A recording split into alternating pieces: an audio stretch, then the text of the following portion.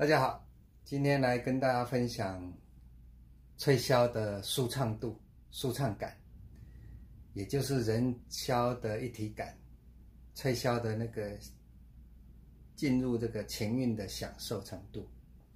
这些条件怎样来达成？呃，从小我就学箫，呃，在吹奏跟制作上一起成长，那也发现其实。吹奏的能力跟箫的性能有很大的关系，啊，箫的性能越来越进步，我们吹的这个细节也越来越多，享受的程度也越来越多，所以我不断不断在分享这个吹箫的一些心得，啊，也希望说把这个心得啊分享给大家，大家可以一样吹箫，都是同好爱箫人，啊，吹得很享受。那主要呢有几个重点呢，我跟大家分享一下。就箫来讲，它本身有一个转换效率，就是气息给它的时候，它的转换效率啊，有一些箫普遍存在的，就是说你你要很小心吹，你就好像关在一个有限的空间里面，在那个空间去发挥。但是当我们把箫的这个领域打开了。那箫的纳气范围、箫的呃延展度啊、箫的转换效率提高了以后，它接受我们的气息就很广。你可以很细腻的、很纤细如丝，那也可以很强大的、呃广大广域的这个多重声波、饱满的或是宽宏的这种声音。也就是说，那接纳我们的气息转换成你箫声的这个效率，其实一个箫本身上的性能。还有就是它可以容许我们变换的这个层次感的流畅度啊，呃，收放起伏的流畅度，这些其实还有灵敏度，这个都是箫的性能啊。那在吹呢，吹的部分就是说我们气息。跟箫口之间的对准度、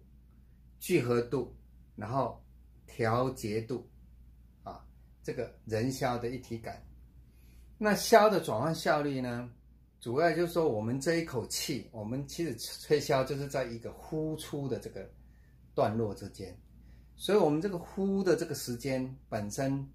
就是一个乐句了，也就是箫韵的所在了。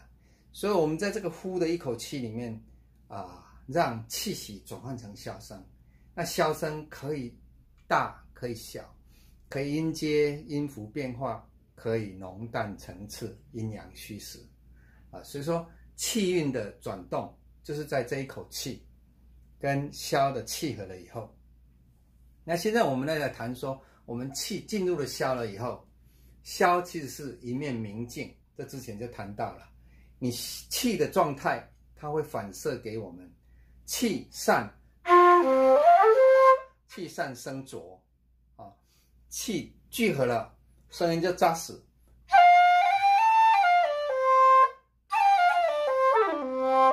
那箫的延展度，箫可以啊流畅的延展，延展的深度。那比如说我们浓淡来讲，这个宽松的。宽宏的啊，这个虚的声音，然后扎实的，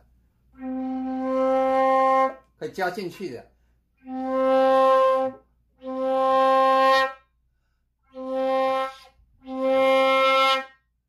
可以可以容纳你 饱满的这个深度。那这个就是说，我们箫本身的性能，还有配合我们的呃多重流速的口风，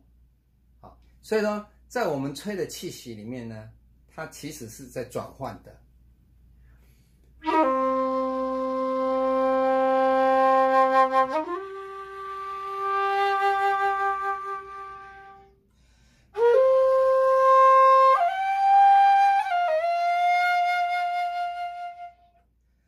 在流动的，就是在一个一个一个流动的这个线条里面呢，它其实是充满了起伏，充满了层次。啊，所以我们的气呢，其实是在转换之中，就是一直在在调节的，风门在调节，气息的供应量也在调节。那你出来的这个乐句呢，它本身是在带着呼吸感啊，就是一个起伏或是浓淡。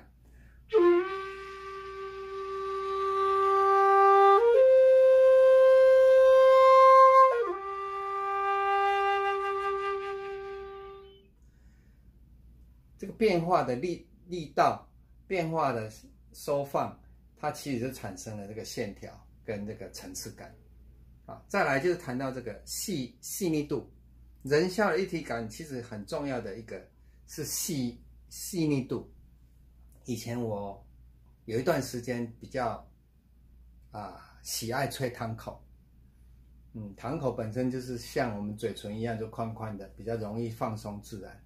那在最近呢，呃，回顾在这个 U 口里面，我们延展发展的这个研发这个 U 口的灵敏度，跟着吹奏的方式，所以让我们那个细腻度可以提高，跟堂口几乎是一样的这这种一体感，就是细腻度。这这个细腻度就是箫本身的灵敏度，还有我们风门的细度，这个很重要。其实，在吹箫里面，它最享受的很。大的这个范围里面，就是在这个细节，因为你关照那个灵敏度，这个细腻的声音。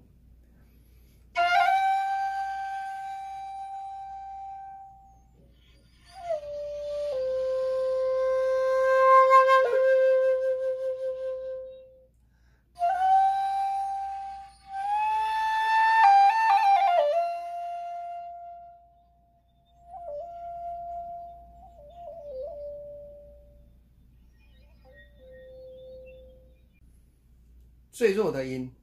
极弱纤细如丝的，那个关照度很高，让我们进入那个明觉的觉察度呢提高。气息一丝丝，箫声一丝丝，这个连接啊，是一种很迷人的状态啊，就是我们尽量收风门，对准了，然后收。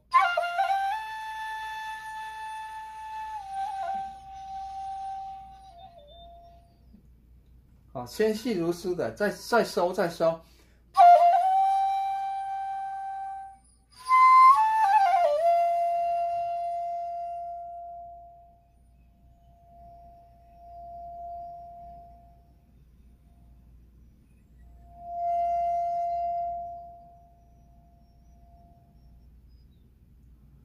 我让堂口的细腻度呢，可以在 U 口实现。好，就是那个细如丝的敏锐、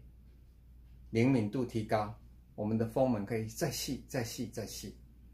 啊，这是一个啊很重要的一个 U 口的发展。啊，那也让我们人肖的一体感，从大的宽的宽宏度、大的舒展，啊，有人说你这个回应回应度，就受力范围，那还有准确的音准。在这个层次变化啊，线条变化，那个音准呢维持住，啊，所以说在箫的性能上提升，在我们吹奏上呢，我们可以再进入了那个更细节的这个范围，啊，所以说让人箫的这种呃一体感，让吹箫的舒畅感、舒畅度、舒畅感，可以完全的这个进入了那个忘我的状态。好，分享到这里，谢谢。